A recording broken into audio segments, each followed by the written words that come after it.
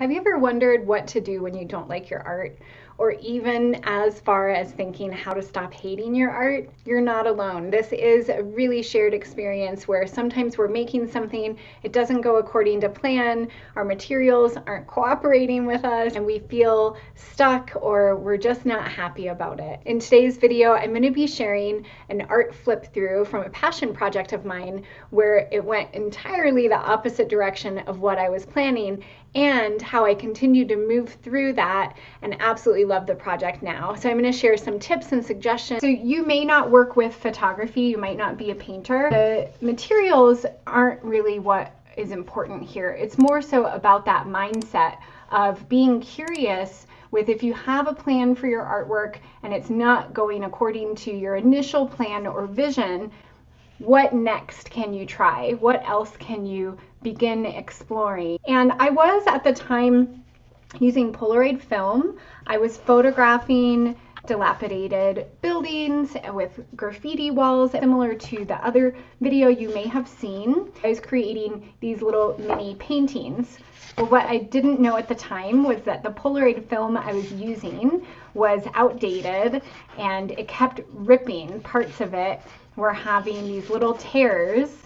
And so I almost stopped the entire project. And then I realized, well, if it's starting to tear and break through, how can I embrace this a little bit more? And I began actually melting down the films and I pulled away at them. These are the multiple layers of film that ripped through the image itself. Haven't heard of anyone else ever doing this. It's not a practice that was introduced to me. It was something that I simply stumbled across because something I was doing in my practice wasn't working, and then I decided to explore it further. So I ended up really loving some of the final results. And as a disclaimer, I don't recommend melting down the film. I'm not sure uh, what that did as far as fumes or health or safety. It was largely a discovery process, so I had no idea what the images were going to turn out and look like. There's something about a Polaroid where you don't see the image until it fully develops. It was almost like each piece was then revealed to me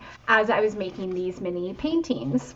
It's largely a practice of being present with what you're creating and allowing that fluidness to make changes on the fly and to be open to quote unquote failure to being curious about what that even means when you're making. What is it like to create art simply for the pleasure of doing it?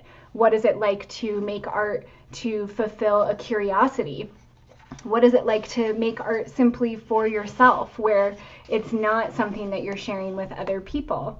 So there's so many um, questions and discoveries. And what I noticed as well is as I did this and I kept creating, because obviously I have a lot here and I have more I'm not showing, is I started then to see patterns. I started to have motifs. It reminds me of those choose your own adventure books where one decision leads to another and another and you go down a different path and you can always restart the book and choose another adventure. So anybody, if you remember those books, definitely comment below. I'd love to connect with you about that. So I hope you find this inspiring. I'll be sharing more information in future videos as well. So please definitely subscribe if this resonates with you for more.